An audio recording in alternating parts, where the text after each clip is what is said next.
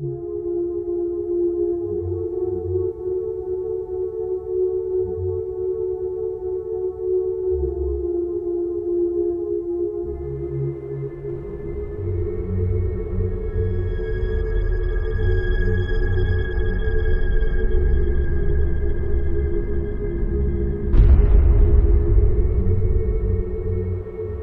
today's episode, we ask the question what does it really mean to be human?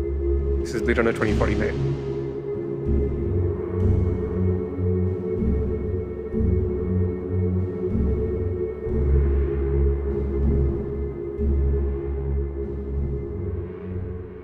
Welcome back to a brand new episode of Two Please. I'm your host, Abhin. And I'm your co host, Rohit. Or am I? we never know. wow, what a great start to the episode. Yeah. Well, uh, this episode has been coming for a long time. It's the Blade Runner 2049 episode, the episode uh, around, in my opinion, one of the best sequels ever made. So I've been determined to keep this episode uh, about 2049. Um, but like I was telling him, it's impossible to really divorce this movie from the original uh, 1982 movie as well because it's essentially a continuation of the plot. It's set in the same universe. So we're going to try and speak a little more about 2049, but it's going to be impossible for us to not have callbacks to the universe, not have callbacks to the plot line of the original. Uh, yeah, I don't think it would be possible for us to exclusively talk about 2049 without actually talking about the roots of the film, right? Which is Yeah, the first yeah. Blade Runner.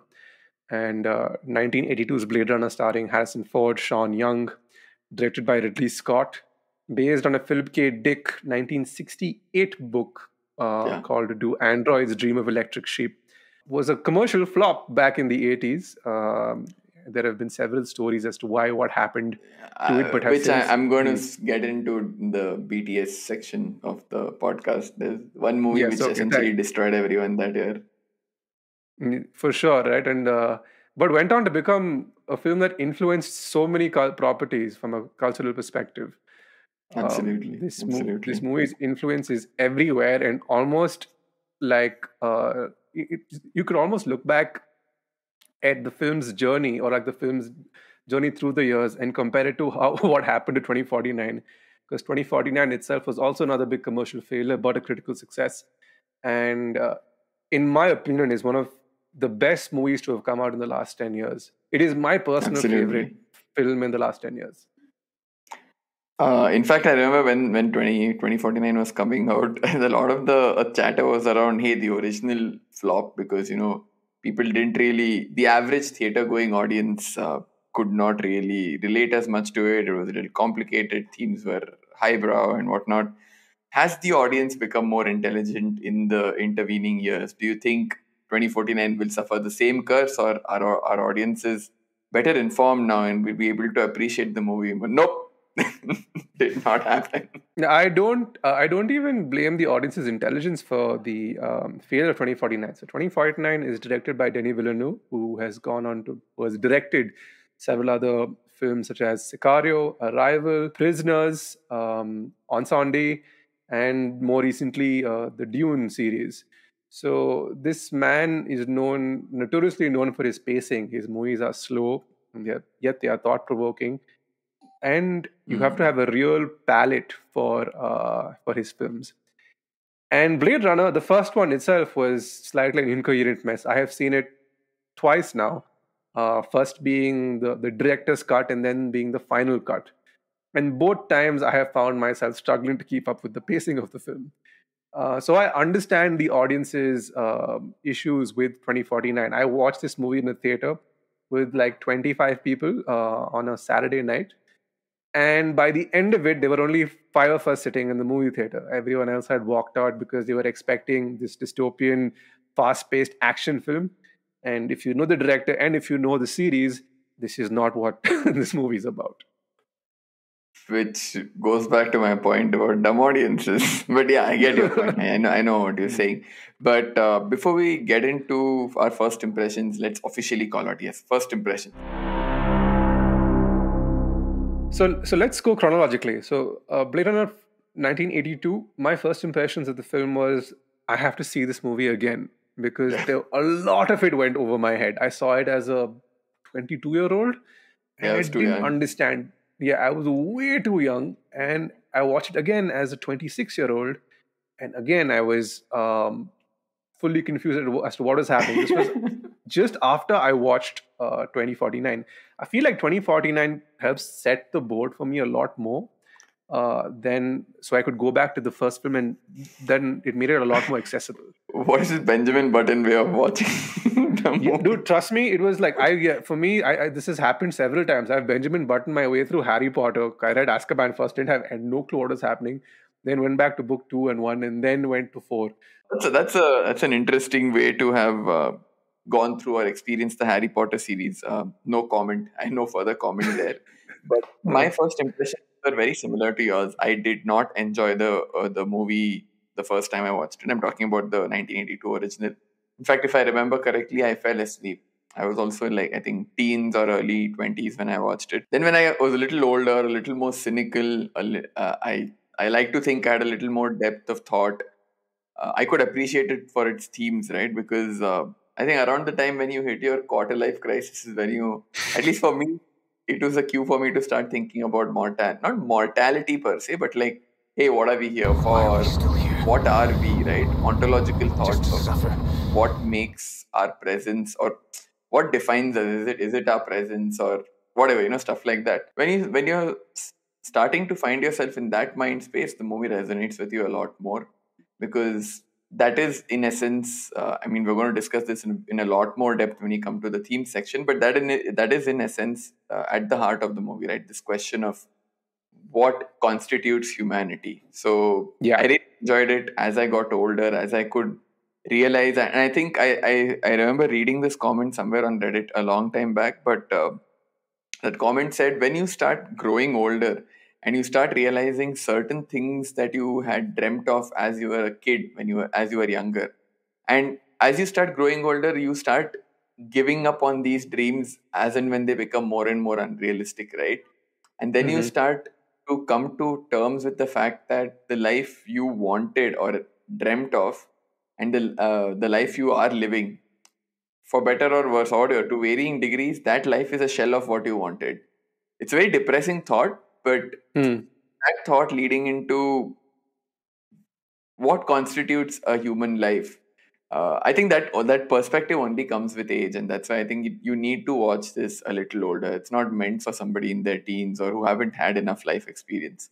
But having watched it the second time and you know having enjoyed it i was like super on board the hype train for 2049 because i love sicario i love arrival i was like i am a proper villeneuve fanboy. So I was like, Denny Villeneuve is doing Blade Runner sequel. Like, I can only get so erect, please, right? So- and like you said, it's one of the best movies of the decade. 100% lived up to the hype. I would go on to say certain aspects of the movie even are better than the original. You know, it it sort of I'm wrestling with myself to say it, but it took the theme of the original and built on it in the most organic possible way. That's that's how I would put it. Do you want to hear my hot take? But it's better than the I original. think I think it's better than the original. I think I don't tells- think. Yeah, yeah. Hmm. I don't think it's I a think it's- very hot take. Yeah, I, I honestly like this is one of my favorite theatrical experiences. I watched this movie, like I mentioned, on a Saturday night. I have not been immersed in a world like this. I I don't remember the last time this happened. I watched Dune and I was kind of disappointed by Dune, and everybody else seemed to have the experience with Dune that I had with this movie. Mm. It it's a slow burn, hard boiled detective meets cyber, uh, cyberpunk dystopian future narrative, and it's told so well, and it presents such wonderful questions. In fact, I am of the opinion that I love the kind of movies where you leave a movie theater asking questions because of the ambiguity of certain um, plot points in the film. Yes, Within it can be frustrating. Within reason. yeah with, within reason exactly yeah. At some points you can it can be very frustrating but in this movie i felt like you had been served enough of a meal with room to give put your own food into the mix like your own choices right at the end. Because this movie does something very interesting. It presents a full-blown narrative a story about this one character who goes on this journey this incredible journey yet leaves several un- open-ended questions for you along the way for you to come back home sit on, read up, digest, and have conversations about. And those are my favorite kind of films. This is, this movie came out what close to a decade ago, and it's still on top of my mind. And I think about it every couple of months. And as a matter of fact, when I watched the movie in preparation for this episode, I watched it in parts because I really wanted to sit in and immerse myself in in the film for what the 25 25 minutes I was watching it uh, every day just before going to bed. It's such a well done film. And Roger Deakins, it was a criminal that act that this man was not given an Oscar before uh, this film. This is it, the set design on this film is gorgeous. Okay, I'm going to stop talking because uh, I will go into full fanboy mode, and that's not what I should be doing. Yes, I really like this film. in summation, it's like blah, blah, blah, in summation, it's Yeah. a good film. yeah, exactly.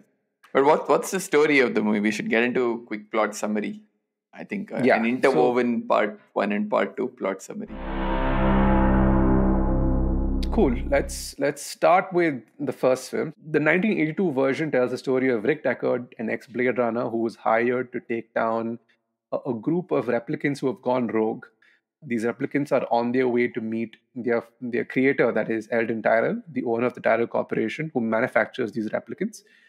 And um, they are looking to extend uh, their lives. So every replicant in this era of, uh, of this world has a max lifespan of four years. So it's up to Rick Deckard to stop the replicants before they get to Tyrell and end up saving the day of, of sorts.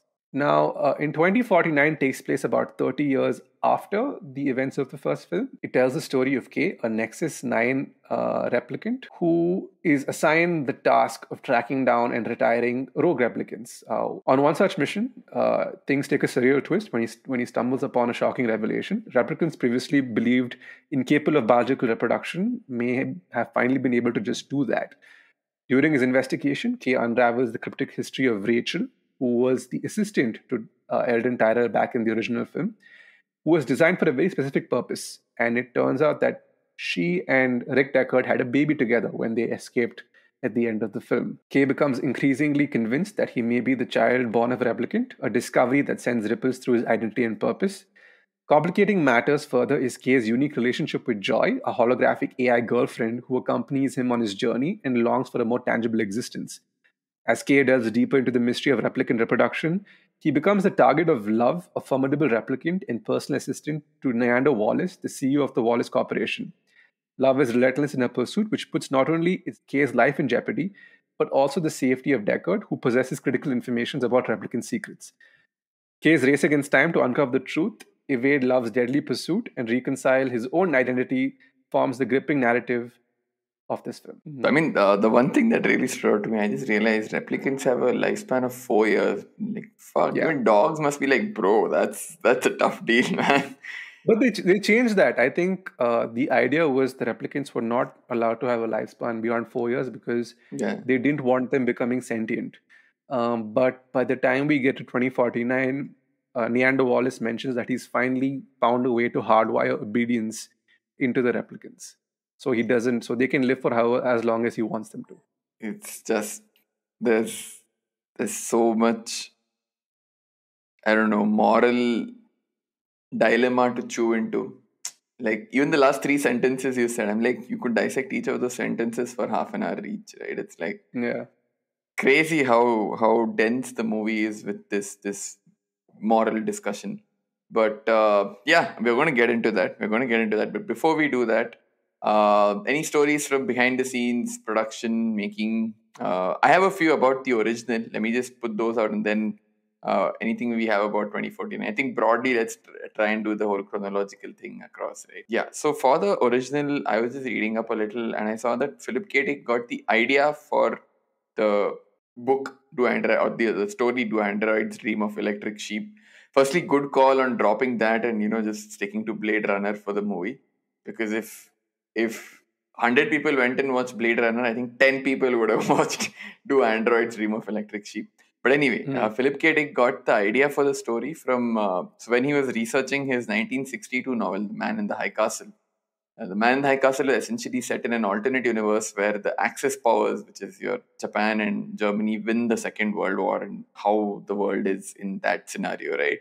So he was doing some research and he came across diaries of Polish SS officials and their entries, which he found intolerably cruel. But what he found unnerving was how no, how much they had normalized this, right?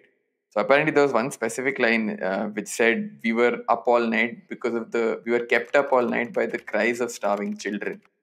And he was like, these people cannot be human. They're, they're you know they're they're imitations of uh, humans, but they're robotic and you know they're meant to perform specific functions. That's where he got the idea. The germination of Blade Runner came from there. And I mean, I'm just the reason I wanted to put this out was Man in the High Castle is another PKD work that I really like. I didn't know that the two of them were related in this sense, right? So uh, that's where Blade Runner comes from, um, which is one thing I found really interesting. Uh, the other thing, and I think this the other this bit of info is a lot more common knowledge uh, today. I would say is that the whole Tears in Rain speech was effectively improvised by Rutger Hauer, not on set, but the night before the shoot uh, in his hotel room. Apparently, he went through what was originally the dialogue for that scene and had a lot of technical jargon and I mean even the final product has names of places like Tannhauser Gate and all of that but mm-hmm. uh, there were a lot more of these in the original speech, and Rutger was like, "This nobody's going to relate to this, right? And this is the end of the movie. We have to. The punch has to land here." So he got rid of a lot of the fluff and just added that one line of, you know, uh, all of this will go away, like like tears in rain, time to die. Apparently, when he uttered that line on set, people on the like the crew started crying and applauding, and also Ridley Scott was like, "Okay, I know I've been boomed." this guy has taken what we've written and just you know elevated it so probably the you know the most memorable moment of the first uh, movie coincidentally was was improvised or uh, you know not on the original script. Two other points uh, one was that the Voight-Kampff test which is there in both movies uh, yeah. and it it is a, a test that you that replicants have to take sorry humans have to take to show whether they're replicants or not right? Yeah. Um, whether they are ai or not so coincidentally the Voight-Kampff test comes from an alan turing research paper and this research paper was part of the imitation game that he had built uh, to test on ai right so yeah. the Voight-Kampff test is not something that was dreamt up it came from a very real scientific paper that was meant for this exact purpose so again something i found very fascinating that they drew from uh, real life and not you know didn't just conjure it out of the blue. Last point was uh, about the 1982 original. Like I was mentioning, both this and the other film in that year, which went on to become super influential in its genre but was completely blown away, was The Thing. Both the Blade Runner, uh, both Blade Runner and The Thing were completely destroyed by this little movie called E.T. Uh, in 1982. uh, there was all the rage, and you know everyone was talking about it, and here I have a hot take that yes, it is a great movie, but both The Thing and Blade Runner are far more influential, not only to their genres, but cinema at large than E.T. is. I felt weird saying this, but I I just feel Spielberg is like deified a little too much. Generally, it's I like mean, you know, it's like blasphemy to say anything anti-Spielberg. Fuck Spielberg, dude. Dude, I, I will say two words. Year 1993, when he released Jurassic Park and Schindler's List together, like in the same year. I, for me, that is to make those two films in the same year. Yeah, I mean, I'm joking. Some not kind, fuck Spielberg. Yeah. I'm just trying to be anti-conformist. Spielberg is great and all. Yeah. I, I, was just mm-hmm. saying these two movies are are bigger contributors to cinematic cultural history than extraterrestrial. Yeah, for sure. I mean, um, you know me. I'm about to fit Berserk proper if I possibly can. Of course. So, Roy Batty, uh, Rutger character, partly inspired Berserk, the character of Guts in Berserk. And oddly enough, in this weird turn of events, the last chapter that Kentaro Miura, the author of Berserk, wrote, the last line of the page of the uh, of the manga is a direct nod to uh, Roy Batty's speech in uh, in the at the end of Blade Runner. It talks about moments but disappearing into the into the into the air like morning dew instead of like tears and rain which i ended up reading and then he this was the panel he wrote he finished and then he passed away and then his um his team ended up uh, drawing and, and, and and sketching it So it is weird coincidence that that just happened. Um, second, being the amount of things this movie has influenced. I think it influenced what Akira a couple of years later. Um, Yeah. It influenced the 1990s anime Cowboy Bebop, directed by Shinichiro Watanabe, who also directed a shot for Blade Runner 2049. The animated shot is directed by the guys um, Oh wow. um, from from Cowboy Bebop. The finals, I think, I could this could be a stretch. The final scene from uh, Blade Runner 2049 has a direct correlation to a particular scene from Cowboy Bebop. The imagery is very similar, is what I have been told, because I'm still halfway through Cowboy Bebop. It's a really interesting experience. If you haven't checked it, I highly recommend that you do. Um, but yeah, those are my my things on on the first film. The second movie, uh, a couple of things. This movie bombed badly. It had a hundred seventy dollar a million dollar budget, and it uh, made about two fifty million. So it, I think, with the marketing and with everything, they were very in the red by the time this film uh, came out. David Bowie was supposed to play Niander Wallace, that ultimately went to Jared Leto because David Bowie was ill and ultimately passed in 2016. David Bowie wouldn't even have had to act. The whole character was written keeping in mind uh, David Bowie's uh, eccentricities. So, Oddities was right there, Abhin. oh, right, I should have just done that. Literally space oddities, yeah. but Um, speaking of oddities or eccentricities, Ma- Jared Leto had to do his Jared Leto bullshit on set here as well. Uh, for those of you who watched, you might recall that Niander Wallace has weird looking eyes. He has like opaque uh, eye lenses. So apparently, Jared Leto on set came uh, came on set wearing op- opaque lenses and he was effectively blind. So he had to be guided around the set with an assistant. Uh, for those of you who heard that There Will Be Blood episode, we were talking about how method acting done with the head up, with your head up your ass can make you look like an idiot. Again, second case in point, I think Jared Leto is the torchbearer of bullshit method acting. Nobody asked you to do this shit. Keep your fucking nonsense to yourself. Come act and fuck off, dude. Rohit's rant is over. yeah. Okay, moving on. Um, a couple of things. There is a line in this film that's a direct reference to Treasure Island when Deckard meets Kay. And Deckard asks him, You mightn't happen to have a piece of cheese about you, which is, again, from Treasure Island, I think, when one of, Oh. when of the captains first meets and meets somebody and he can't tell if he's real or not. Uh, so this is, again, a play. in- Interesting. yeah this is uh, this is another play uh, when when Deckard ultimately ends up meeting Kay in the wasteland that is Vegas. Uh, there, and a book that keeps popping up in this film called The Pale Fire, uh, Vladimir Nabokov's book. I didn't even know he wrote this book until very recently. I only know Nabokov because of Lolita, uh, much like I guess the rest of the world. You and everyone else, friend. Yeah, exactly right. So, so the the story of uh, the Pale Fire is like is a critique of this 999 word poem, uh, and the guy who is critiquing it is basically pointing out issues with it and and so on and so forth. And ultimately, you realize that uh, the narrator, the critique, is not who he says he is, and he happens to be this king of the like a deposed king of some land, and he's searching for um, the actual poet's daughter, which is again a direct correlation to the plot of the film.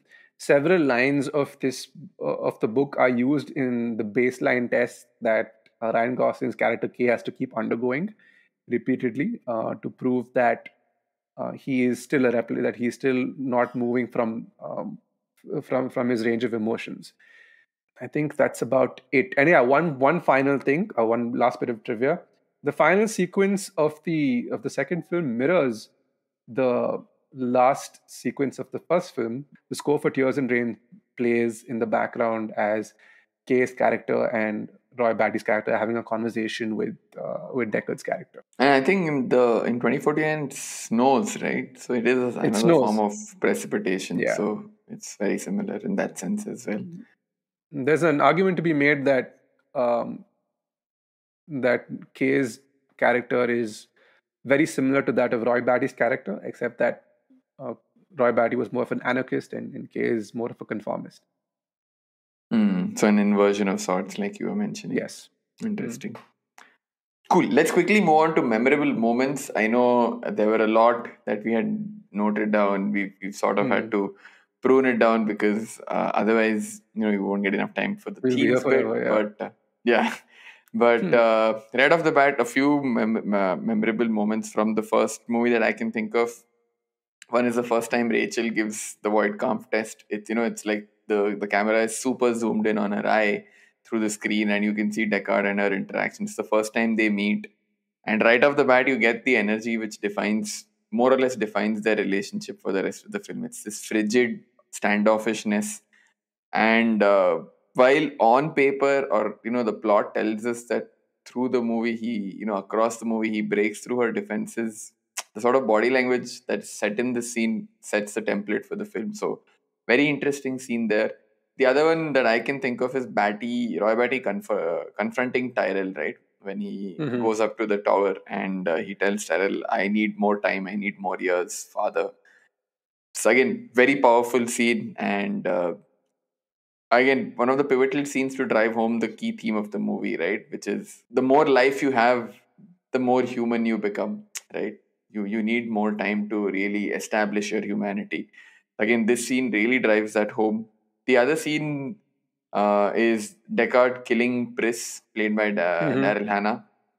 I think that's the one with the acrobatics, right? So yeah, and acrobatics, and once he uh, shoots her, she starts. She's you know convulsing violently for a long time, which uh, I mean was referenced somewhere else as well, uh, as well, right? Yeah, it was referenced in in Kill Bill. So Kill Bill, uh, Ali Ali Driver, right, is her character's name.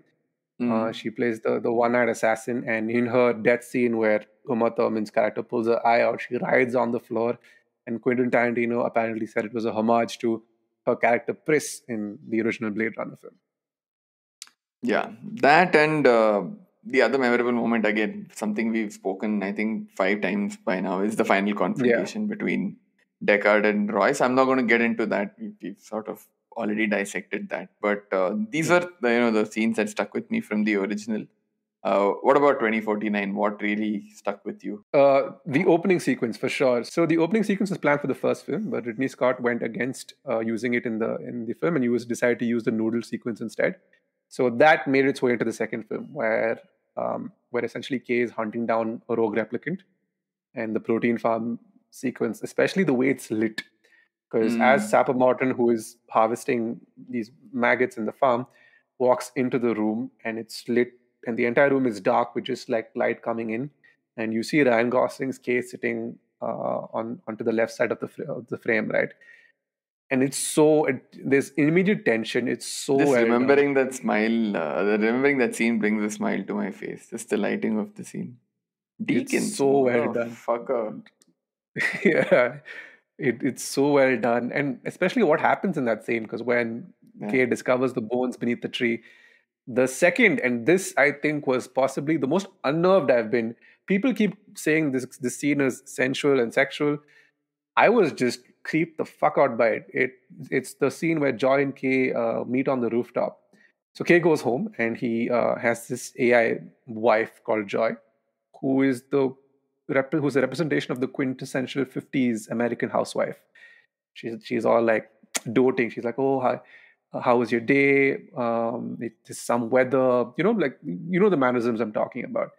And he gives her a an emitter and asks her to come up to the roof because she really wants to be close to him. And watching these two interact, and let it be known that up until this point, I hadn't seen a lot of Ana de work.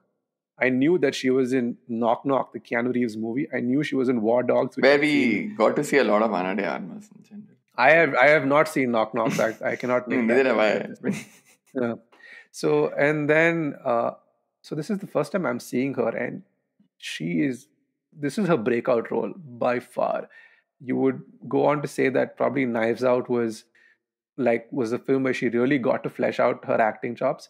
But as a star making turn this film she was alluring she was uh, she was sexy and she was also weirdly unnerving that entire interaction where they're on the roof and they're having this intimate moment i was just in my seat just like squealing. It, it felt weird and it felt off because I knew where we were going because that's that's the future. And Yeah. we are in the the early stages of AI right now. Dude, can you imagine neckbeards watching the movie? They're like, Ana de Armas AI lover. When is 2049 coming, dude? Like, why are we still 26 years away from this? Oh, that's the future. And you know it's coming, and you know there's a huge market for it given uh, the internet's response to certain uh, websites, right? So Yeah, yeah. that that waiting for, for, the Japanese to do their thing. Uh, uh, then the the Wallace Corporation. I think more more of more of what reminds me of the scene. One is of course the um, the vacuum sealed replicant that that is born during this time, and which is creepy Mm, as hell and Born. it's extremely uh, what do you call weird. So a lot of people mentioned that this film had a ton of nudity. I watched this in an Indian movie theater. I didn't see any nudity because the censor board absolutely chopped it to bits as you'd expect it expect it to, right? Also, I don't think any me. of this nudity is, is going to titillate you in in any way. It's all like uncomfortable nudity. It's extremely uncomfortable. Having watched the the uncut version, rather the, the non-censored version recently, I can say none of the nudity is played for any sort of titillation. Um, but the whole the little den of Wallace, where there's a lot of wood, and you need to understand that wood in this film represents how rich a person is, because wood is a natural resource that is no longer It's an available organic resource. Yeah. an organic resource. So it really proves that this man has a shit ton of wealth, and it really whole sets the intro scene, his introduction is like that mystique It's perfect. set up. Yeah, him. Uh, I think Luv, who is his um, his assistant, that who's trying to her best to appeal to to him, as you would like, as would most people do would would to their god, who they would perceive as their god, Mm. like un uh, undiluted devotion. That really comes across well. The the orphanage sequence is super unnerving, uh, given what happens in in that in that entire scenario the Joi and Mariette sequence, which uh, for me is a technical marvel, and the effort it, that went to went into making it. This is the the, the so-called sex scene that um, Joi initiates with um, uh, with Kay. They had to keep Ryan Gosling perfectly still using these little uh, boxes so he wouldn't move out of his mark Mm. as each character as each actress would mimic the movements it's a technical marvel that even as having watched it very recently i can't believe it, it's so flawless um, vegas looks amazing that that yellow tint Dude, and that first show, like top view shot of just, you know, desolate, I was like, my heart dropped. I was like, what is this? This and it's scary. so you know and, and it's so topical given what happened in new york earlier this year with the uh, with the fires in canada that Mm. Suddenly like gave New York the sepia toned uh, fog that penetrated like the entire city. Very much living in Blade Runner 2049's uh, era. The the conference the the meeting between uh, Deckard and uh, and Kay, which I mentioned, and the Mm. Treasure Island reference. The fight sequence in that in the hall where Elvis Presley's uh, hologram performance keeps glitching it's so wonderfully shot. I think this is a scene where uh, Harrison Ford actually ended up punching Ryan Gosling, yeah. and that they kept that shot in the movie where Gos- where Harrison Ford realizes what he's done. Then you He's have like that. yeah. Then you have you have Joi's death, where she's uh, wh- where Luv crushes the emitter in front of Kay. You're using very interesting words. I mean, so Joi's death, the android was Yeah. born. Yeah, I know. It's like, and I'm doing this subconsciously. I'm not even thinking.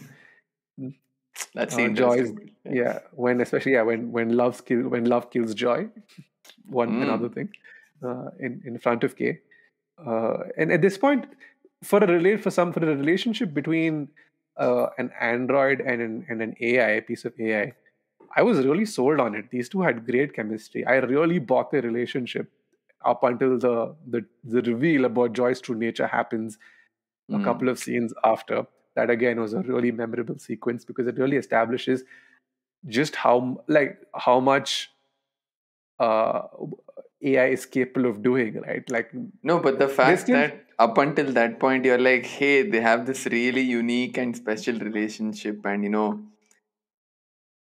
whatever. I don't want to spoil that reveal. But the more you Yeah. buy into the specialness of the relationship, the more fucked up that twist is, right? And and I think we, it'll come. Uh, this will this scene will make a comeback when we go into themes because I really want to discuss it further in detail. But I'm just trying to like talk about the scenes that particularly stood out. Mm. And the final sequence with um, with with the with the fight near the seawall is again so wonderfully shot.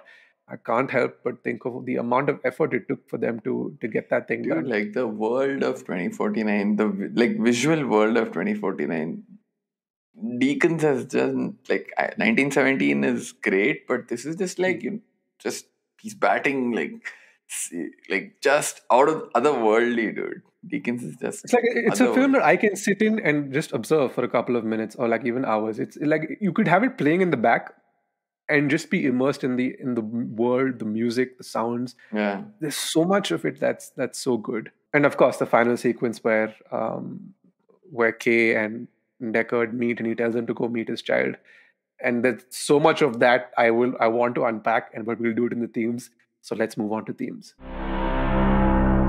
I think the first one we we need to get this out of the way. Like we've been saying repeatedly so far, this this is the question at the heart of uh, of both movies, right? Which is what really constitutes humanity, and Yeah. uh, I think there are two specific aspects of humanity that are focused on in each movie. The first movie really tries to drive home the point that our memories are what make us human. Our memories of our experiences. Because a pivotal plot point of the first movie is Rachael not knowing she's a replicant because she's been implanted with false memories which make hmm. her believe that she's had a childhood and she's had parents growing up and all of that. And therefore because these memories she does not uh, know are manufactured but for her these are real memories. And for her so essentially the, the message here being memories make a person make a life uh, which is again is a part of 2049 but the, you know at, uh, at the top of the episode i said there are certain aspects of the story that uh, Villeneuve has taken and evolved organically to be even superior than the first one. Here i think the fact that reproduction or uh, you know you are you are able to propagate your species. Again species is a loaded term Mhm. here. Is something fundamental to organic living beings and for a, a replicant to potentially be able to do that is another aspect of what makes us human right? Uh, which is the aspect which is at the core of this movie. So again i think both these movies take specific aspects of what uh, defines humanity or what cons- what allows you to ca- call yourself human and uh, really dives deep into it. And again this is a question that you know you can you can deep dive into it as much as you want. There's really no uh, you know end to it right? There's really no you're not going to hit upon an answer and there's no uh, what do you say? Yeah we've you know we've we've solved this question. There really is no one definitive answer. I was always looking at at least the first film. I was always looking at the movie as what ultimately ends up making us human. Is it empathy? Like, is it? It's not. Is it just? Is it something not as quantifiable as as as reproducing as as giving birth? And even in the second film, it asks the question like he is so sure of his of his implanted memories. Like he, he doesn't. He starts to question who he is as a person. in a sense, K is also an inversion of Deckard because in the first movie, Deckard spends all of his time trying to prove to himself or deny the possibility that he's a uh, that he's a replicant. But in this movie, he Kane knows he's a replicant. He spends the entire movie trying to disprove to himself that he's uh, a human. So in that way, it's an inversion as well. I don't know if he's trying to disprove himself that he's a human. I think he's trying. I, I mean, to, not disprove. What I meant is, Hmm. Deckard is somebody who who's assured, self-assured that he's in the fact that he's a human, who is unsure whether he's a replicant, and K is self-assured in the fact so far that he's a replicant, but now unsure whether he's human. So in that way, it's an inversion. Hmm, fair enough. So the the journey of discover self-discovery or whatever is is exactly opposite for each other. When I, the first theme that I walked out with after having watched this film was the Pinocchio story, right? Like this is very Mhm. clearly uh, a like a, a child going on his journey to dis- to become a, a real boy or a real man. But ultimately, what really makes him human in the end is when when he finally learns who he is and he learns that he's not anyone special yet he chooses to do what he does. He has that conversation with with deckard at the end uh, and deckard asks him who am i to you? And he doesn't doesn't say anything to him. He just he's like i think you should go meet your daughter and that's what he ends up doing. Oh yeah, by the way, I feel like we haven't revealed this yet. So throughout the film, it's hinted that he might be the son of uh, Rachael and and Deckard, but turns out he's not. the The child of Rachael and Deckard happens to be the the woman who creates the memories, uh, Ana Stelline, and in the midst of creating memories for replicants, she implants some of her own memories into uh, into Kay which trigger when he reads the date on the tree at Sapper Morton's farm when he finds the horse in uh, the horse statue, which is actually a unicorn because it's missing a piece on its head, which is again a throwback to the first film. Throwback to the first film. Damn, Denny! Like coming back to the ending where he uh, where he sits on the stairs and he, I think he comes full circle with who he is as a person. He for him becoming a human is somebody who has a soul and he's extremely aware that he's he does not have a soul.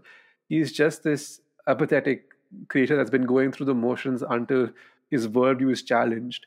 And and to and to pursue that and and to go down this rabbit hole where you're so unsure of, of what your next step is going to be is probably the most human thing ever because you open yourself up to being hurt like we all do on a repeated basis uh, in in pursuit of our own curiosity. So it's I found that to be very very interesting.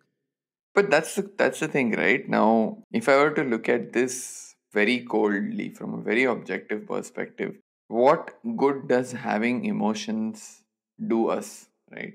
And therefore, if if replicants or AI are meant to perform very specific functions, what good does it have? What good does it do to give someone like a Kay the ability to feel, the ability to empathize with someone. Androids don't need to have that. And therefore, the question comes did they learn this on their own iteratively, or was this programmed into them? If so, what are the aspects of humanity that can be that are programmable right and if everything is programmable it's like that thing right if if everyone has it nobody has it if if you can program every aspect of humanity, then nobody is human. This this ties into uh, into the existential and mort- mortality theme that we also have. Correct, which you is know, I, I, yeah. you know we do because uh, again I feel one of the things that also defines humanity is how we treat death, right? Because exactly. uh, uh, I mean we can segue into that theme if you want because yeah, I think this is yeah, let's, as let's, good a as good yeah, a thing to do that because uh, a replicant like K would know I have whatever x years to live on this earth. Live again i'm using live uh, in air quotes but i have x years of existence and i'm going to die. And in their case as an automaton it's very clear. You are your electrical circuits are firing up until a point and then they stop firing.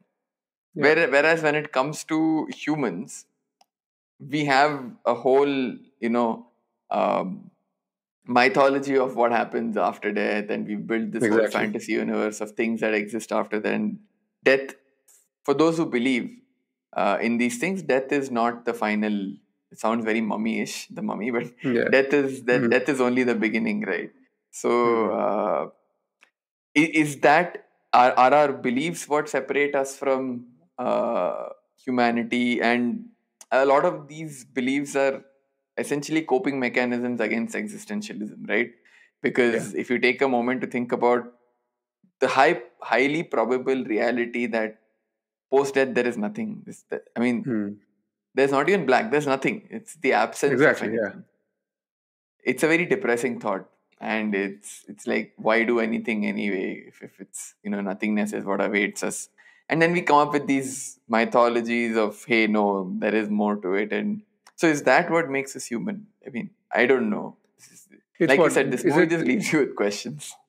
Is it like is it the transference of consciousness? Because I think even in the, the animated short that Shinichiro, uh, Shinichiro Watanabe directed, um, there's a line where one of the replicants asked the other replicant, saying, If we die, do we go to heaven?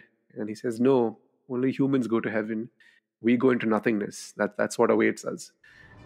If we die, we go to heaven? No heaven or hell for us. This world is all we've got. So, I, and are you, Uh, are you telling me this is the prevalent belief system in that world? I mean, that's depressing as fuck, dude. so f- for them, I assume it is the, the, the This journey, is like heaven racism or something. Journey to attain consciousness is, is their is their uh, is their goal, right? And it happens regardless of, of the scenario. Because and I want to draw a strong parallel to to Westworld as well, because even Westworld, even though they are technically androids and hosts and whatnot, the whole idea, the creator, Dr. Ford's idea was that my hosts will attain consciousness through suffering. suffering. The pain that the world is not as you want it to be. It was when Arnold died, when I suffered, that I began to understand what he had found.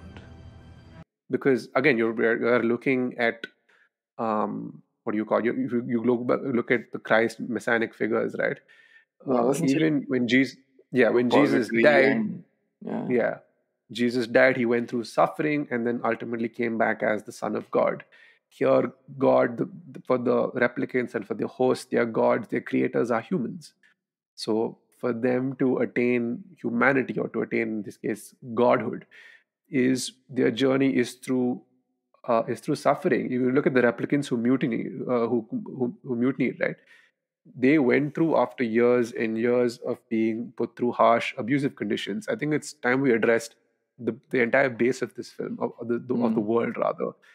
So this film takes place in a world where world war iii has happened and due to chemical and nuclear warfare the atmosphere of the earth is screwed as a result uh, the governments of the world are looking at off-world uh, con- off-world planets to occupy and create colonies and the only way to conduct to do these uh, operations is to create a, a breed of android hosts called replicants who are not humans. So you bypass the slave trade um, conundrum. They send the Yeah, onto these avoided the sticky question altogether. Exactly, right? And they are all built for one single purpose, and there are different generations of them. So up until I think there's, there's a revolt that happens in the fourth generation, if I'm if I know the lore correctly.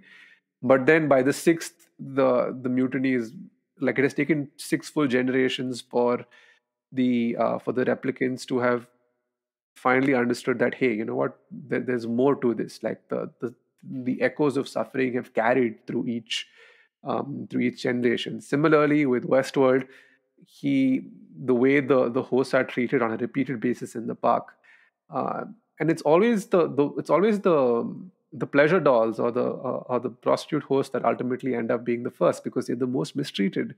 Even in westworld i think the, the prostitute is the first one to go uh, is the first one to attain full consciousness. And similarly in in blade runner the first one pris the, the pleasure doll is one of the first to attain to, to mutiny against uh, her purpose. So there's so much to um, there's so much similarity between these two worlds that ultimately all growth come it come it boils down to the to one point that all growth comes through suffering. And uh, i think the creators are extremely aware of of of that happening which is why up until wallace um, they, there's no attempt to hardwire them into obedience because they'll find a way to break out of their programming and the same happens with with wallace again regardless no matter how hardwired uh, his replicants are k ultimately breaks his programming and goes against what he's supposed to do I think the world that is built in in Blade Runner also, to me, represents the failed promises of capitalism, right? Because Mhm. and we're already sort of seeing that play out in real life in the USA as well, like income inequality, affordable housing just being a myth at this point, and uh, it, the whole idea. You know, I was listening to a podcast this morning on how. Uh, USA has become a, a a car society, right?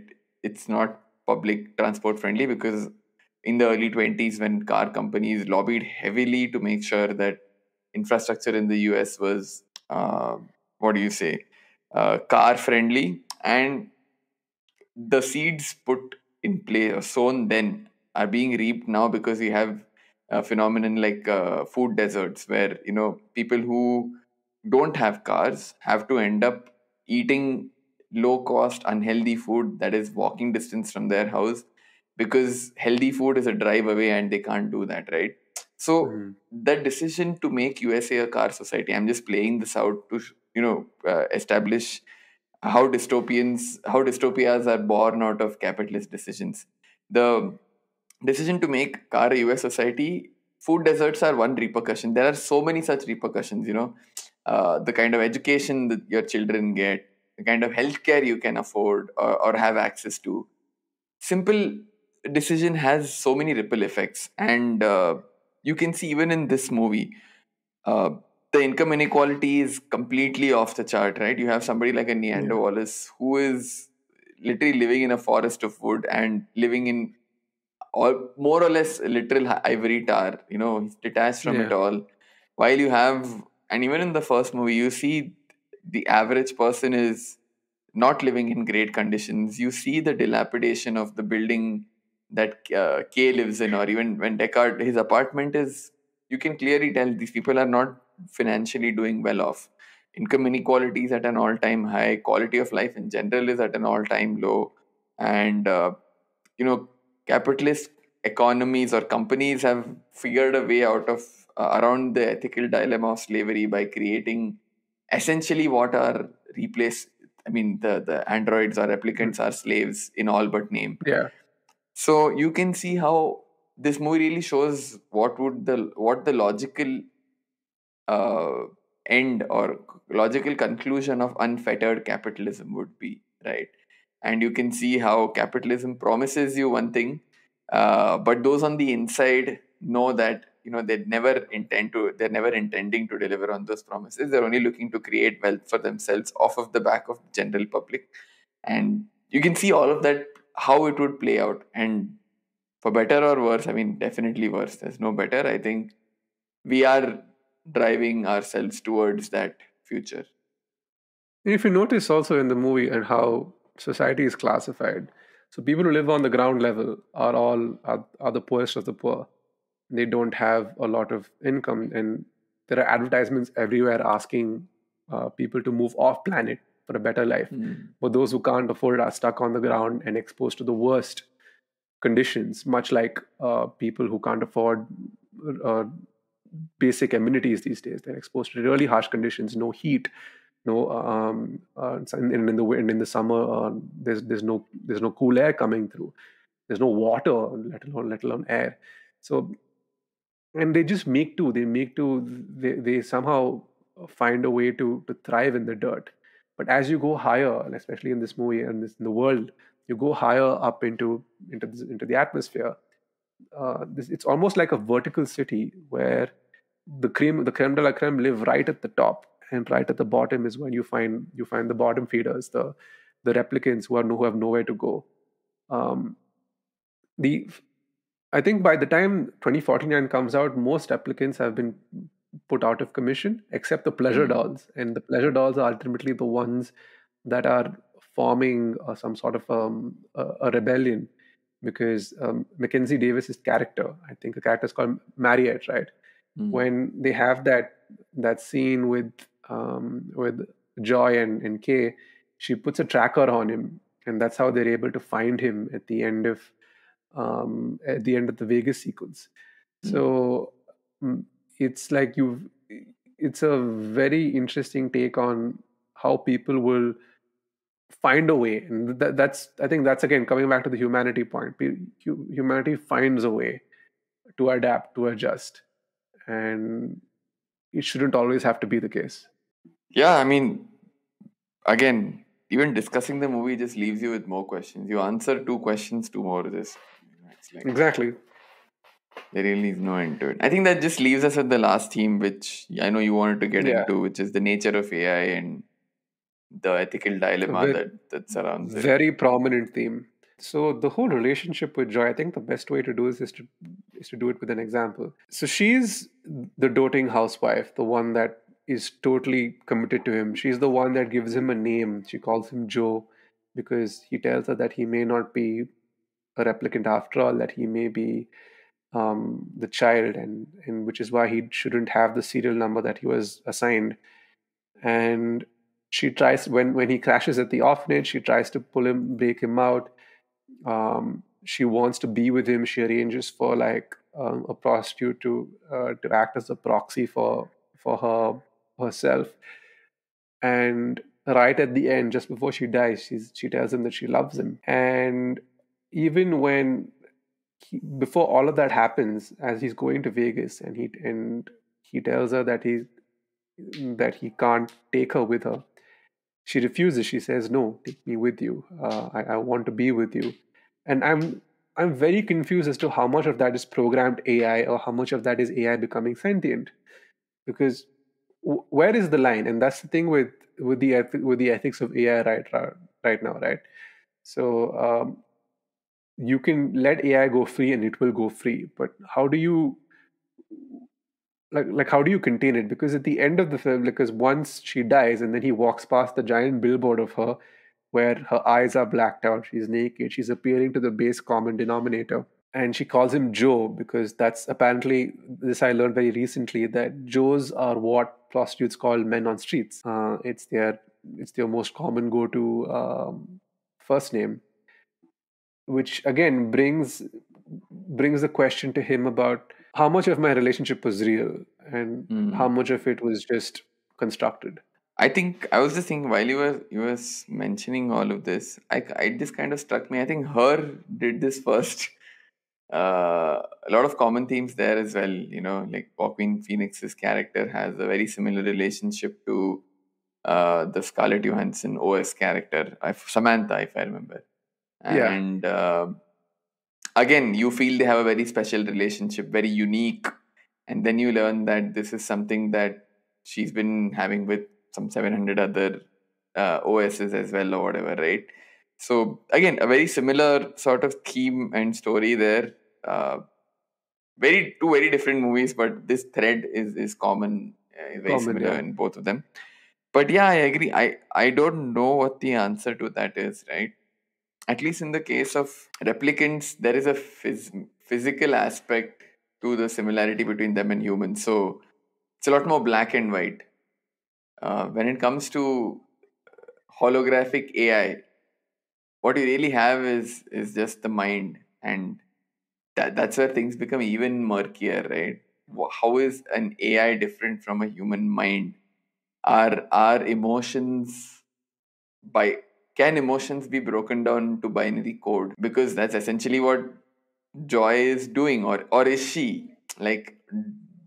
Will our understanding of technology technology's building blocks are binary code are we saying ai will be able to transcend this fundamental understanding altogether again there's there's really no theoretical end to this uh, thought like experiment when, when when does it start to fill in the gaps is what you're trying to say so with like yeah exactly Hmm. I mean at this point it's not black binary is black and white but the way Yeah. joi behaves is completely gray. How does very that very much so. How does that happen? And i think it like even the advertisement says right like see what you want to see hear what you want to hear.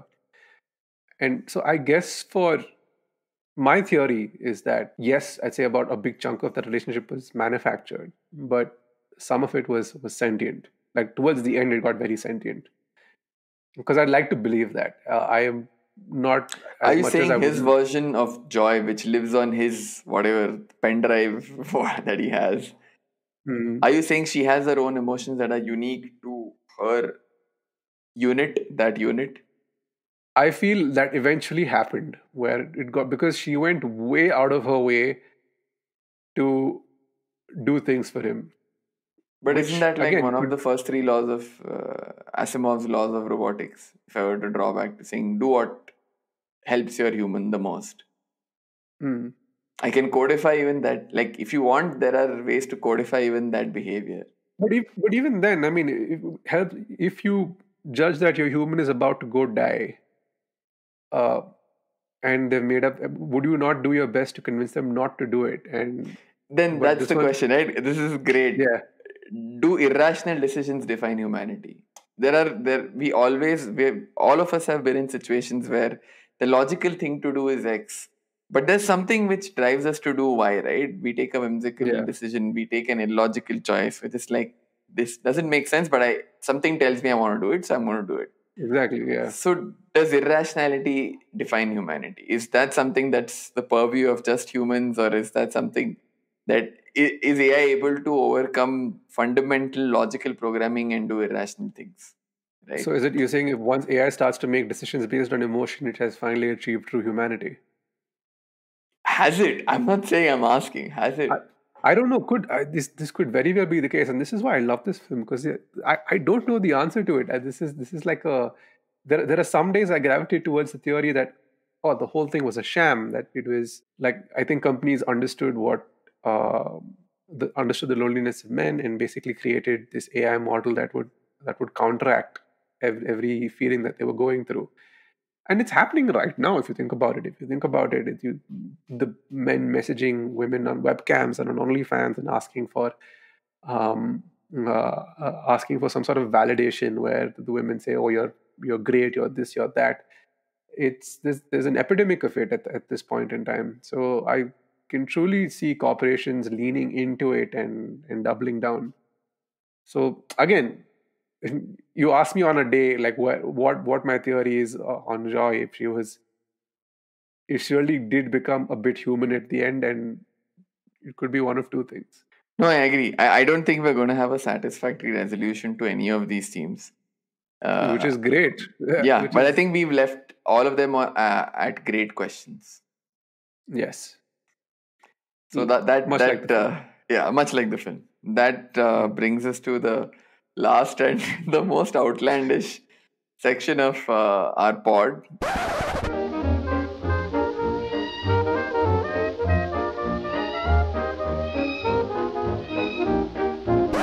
Uh, kudos to Abhin. He's come up with a, a, a right doozy for today.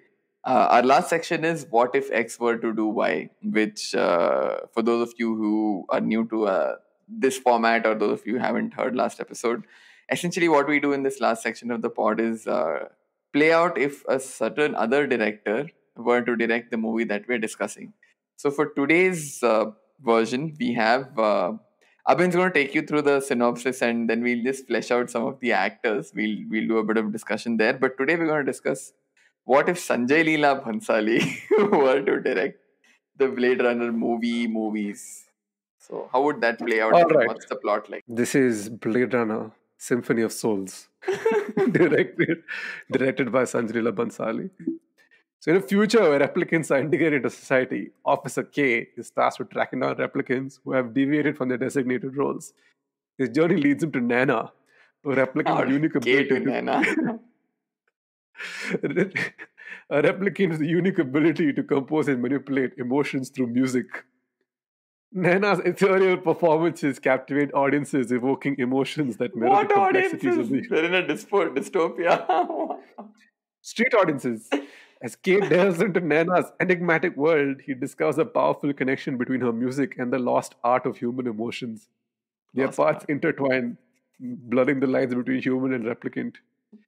K's pursuit of Nana brings him into contact with the influential and reclusive Master Ray, Maestro Ray, a genius composer who harbors a dark secret. As K and Nana's bond deepens, they find themselves entangled in a conspiracy that challenges the very foundations of their existence. Their journey leads them to confront the imposing Tygoon Wallace, who seeks to harness Nana's unique ability for their own gain. The film's climax crescendos into a dramatic confrontation at a breathtaking masquerade ball where past and future collide and the characters' destinies are irrevocably altered. So, who are we casting as as as the wooden? oh duo? yeah. So who are we casting? Hey, uh, yeah, actually Ryan Gosling was fair. Oh, yeah, you need peop- uh, somebody who can act robotic. Then I think uh, Salman Khan fits the bill. He can't act for Salman shit Khan is- so. exactly. Salman Khan as K. who is Nana? Who, who's who's uh who's Nana? Nana could be Deepika Padukone, okay, because we cast her and everything, she'll figure it out. Um, Yeah, I mean that's his the easy answer, right? You can put her anywhere. Yeah. That's true. It's the easiest answer. You can put Deepika Padukone in this film and she'll carry it. And it's Oh, a Leela wait, movie. Is there a Joi in this film? Because isn't Naina his love interest? Dancer Naina in this dystopian dancer Naina. Yeah. Oh, dancer Naina. Then we need to cast K as uh, Ranbir Kapoor. Basically, this is Ye Jawani Devani in Blade Runner universe. I'm, I'm trying to think of pun names of age. Fuck it. Let's let's move on. Okay. So then Ranbir Kapoor is uh, K and Deepika Yes. Padukone is Naina. Oh damn. Okay. Hmm. Uh, who's who's what? Mr. Roy. Yeah, Maestro Roy, the the the brooding figure. The He's her master. yeah, basically, this I assume he's like a Phantom of the Opera character. Is what I would think. Oh, okay. So he's like the replicant, but Phantom. Yeah, fair. I don't know why. When, when- whenever my mind goes to like uh, brooding Bollywood actors, it's like Randeep Hooda. We have Ridley, Scott is looking for us. Where are these guys? I'm going to come kill them both. Okay, no, you, you also said you had certain changes to make to this plot or add. What what did you have in mind? Oh no no no! I mean, again, none of those things can be said on the podcast.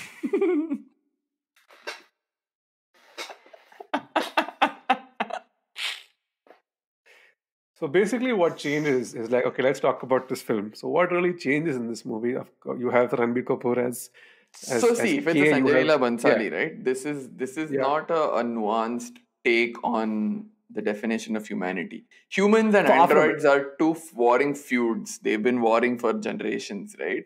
This is like Yes. Ram Leela. So K is representing replicants, and uh, Nena is this human dystopian dancer. Yeah. Their falling in love now means they have to overcome the prejudice that humans and replicants fuck what prejudice replicants even have against humans they own you bitch but anyways But okay, fine. No, whatever. This this word replicants are prejudice. Okay, let's let's let's take that in Yeah. mind. Hmm. and now basically the challenge is that k and and nana have to come up with a dance performance that is so electrifying that people have to forget their differences and like dance together that's the and that that final dance off or the group dance happens at this masquerade ball that this movie supposedly has in its Yes. climax Yes, and then at the end of the masquerade ball, they die. Uh, keeping in true traditions of Sanjay Bhansali films, they both have to die because Yeah. Sanjay Bhansali loves tragedies, so they die, and their death ultimately leads to the the mixing of the humans and replicant societies. hum sell de chuke sanam i'm trying to think of Yes, more that's puns. it. That's it. That, that's it. Okay, well, that, that's it. that, that, that's the movie. Hum sell dil chukes. Oh, done. Perfect. Yeah. Hmm. I don't know. They run on Um, batteries, but yeah. I think we can make it work. Hum cell de chuke In, in, interlinked, interlinked cells, so it's, it's fine. Yeah. Fair enough. Yeah. We, That's the movie. we found the stretch. Call us That's the movie, and that's the yeah. that's the movie. That's the episode. What a way to end. We went from like such an interesting, fun conversation on the themes of these films and, and the world to um this. I'm cell de this- chuke sanam. Hum Sell De Chuke Sanam. Nobody has done an SLB version of Blade Runner for good yeah, reason. SL, yeah, okay. SLB's um, Blade Runner. Do do androids dream of uh, electric gangra uh, gungrus? oh my god. But yeah, Anyway, that's the episode. that's the episode. We'll see you next week.